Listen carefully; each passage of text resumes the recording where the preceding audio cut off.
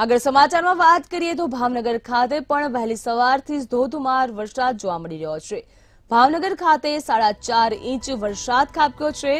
સૌથી વધુ ઉમરાળા તાલુકામાં સાત પોઈન્ટ ઇકોતેર ઇંચ વરસાદ નોંધાયો. ભાવનગરના વલ્લભીપુરમાં પણ સાડા છ ઇંચ વરસાદ ખાબક્યો છે.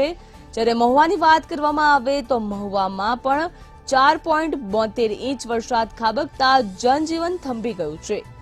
ભારે વરસાદે ભાવનગર શહેરમાં તારાજીના દ્રશ્યો સર્જ્યા છે. શહેરના કુંભારવાડાના અનેક મકાનોમાં પાણી ભરાયા છે.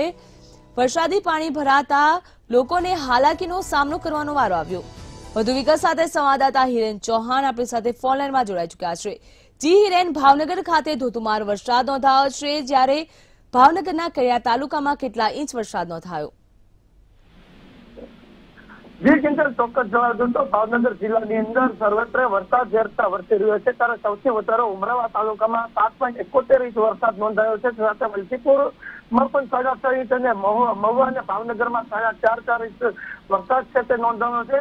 છેલ્લા ચોવીસ કલાકની અંદર ભાવનગર શહેરમાં સાડા ચાર કરતા વધારે ઇંચ વરસાદ વરસી ચુક્યો છે. ત્યારે ભાવનગર શહેરના કુંભારવાડા, અક્ષય પાર્ક ચિત્રામાની ડેરી, ચિત્રા વિસ્તાર તેમજ નારી વિસ્તારની અંદર પાણીનો પ્રવાહ છે તે ખૂબ જ મોટા પ્રમાણમાં આવી રહ્યો છે. જેને લઈને કુંભારવાડા વિસ્તારની અંદર પચાસથી વધારે મકાનો છે તે પાણીમાં ગરકાવ થયા તેમજ ભાવનગરના અક્ષય પાર્ક વિસ્તારની વાત કરીએ તો બે દિવસ પહેલા દેશના ચાર ઇંચ વરસાદ બે કલાકમાં વરસ્યો હતો. તેને લઈને જે પાણી ભરવાના હતા તે હજી સુધી ઓસર્યા નથી. ત્યાં બીજી વખત મેઘ તાંડવને લઈને ત્યાં આગળ પાણી ભરવાના છે.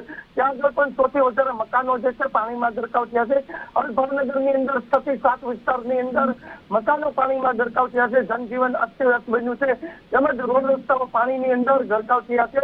ભાવનગરમાં જે વરસાદ વરસી રહ્યો છે ત્યારે કહી શકાય કે જનજીવન છે તે ખૂબ જ અસ્તવ્યસ્ત થયું છે અને લોકોને ભારે હાલાકીનો સામનો કરવો પડે છે. જી કિંજલ જી, હિરેન, સમગ્ર વિગત બદલ આપનો આભાર.